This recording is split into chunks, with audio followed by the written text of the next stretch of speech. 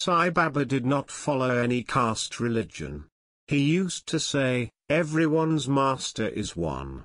With his miracles, he opened the eyes of all those who thought him to be a hypocrite. The teachings given by him are focused on love, forgiveness, helping others, charity, contentment, inner peace and devotion to God. Let us know the precious words given by him. Life is a song sing it. Life is a game play it. Life is a challenge meet it. Life is a dream realize it. Life is a sacrifice offer it. Life is love enjoy it. Even a well-read person who is not free from the desire of the fruit of his action, is useless and can't get self-realization. You are not one person, but three, the one you think you are, the one others think you are, the one you really are. I am formless and everywhere. Man seeks to change the foods available in nature to suit his tastes thereby putting an end to the very essence of life contained in them.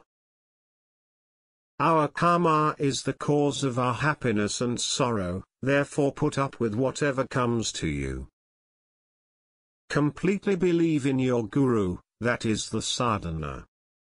The moral law is inexorable, so follow it, observe it, and you will reach your goal, God is the perfection of the moral law. It is only in the depths of silence that the voice of God can be heard. I am the slave of those who hunger and thirst after me and treat everything else as unimportant. Our life is like a block of ice which is melting away every moment. Before it spends itself, devote it to the service of others. Why fear when I am here? Though I be no more in flesh and blood, but I shall ever protect my devotees. I shall be with you the moment you think of me. If my devotee is about to fall then I extend my hands and support him. Unless a man discharges satisfactorily and disinterestedly the duties of his life, his mind will not be purified. Hands that serve are holier than lips that pray. I am ever living to help and guide all who come to me, who surrender to me and who seek refuge in me. The life ahead can only be glorious if you learn to live in total harmony with the Lord.